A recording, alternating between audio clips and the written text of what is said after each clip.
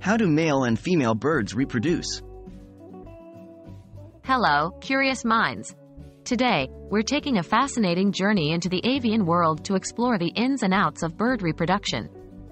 Let's unravel the mystery behind how male and female birds reproduce, an intricate process involving a mix of courtship displays, nesting habits, and, of course, the magical process of egg laying.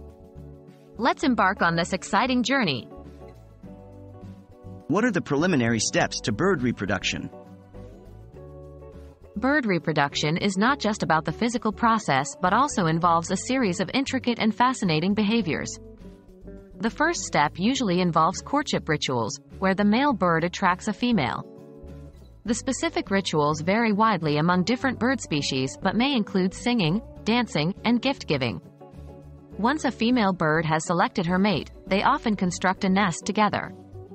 The nest serves as a secure place for the female to lay her eggs and for both parents to care for the young birds once they hatch. The construction and location of these nests can be incredibly diverse depending on the species. How does mating occur in birds? Most bird species lack sexual organs like those found in mammals. Instead, they have a structure called a cloaca, an opening used for excretion and reproduction.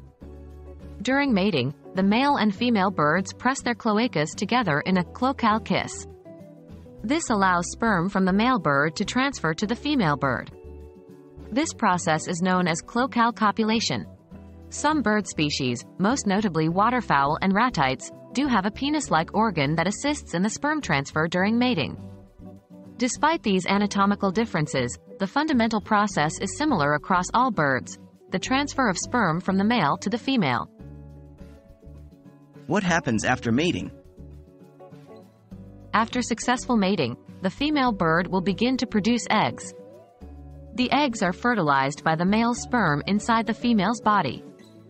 She then lays the fertilized eggs in the prepared nest. The number of eggs laid, known as a clutch, can vary significantly between species, and even between different instances of breeding within the same species. Once laid, one or both parents typically incubate the eggs by sitting on them to keep them warm. The heat from the parent bird's body stimulates the development of the embryo within each egg. What happens when the eggs hatch? After a specific incubation period, which differs from species to species, the young birds, also known as chicks, hatch from the eggs. Initially, these chicks are often incapable of fending for themselves and require feeding and protection from their parents. Depending on the bird species, the young may stay in the nest for several weeks or months, gradually learning to fly and feed themselves. In some species, once the young birds are independent, they leave their parents' territory to establish their own. And there you have it, the astonishing world of bird reproduction.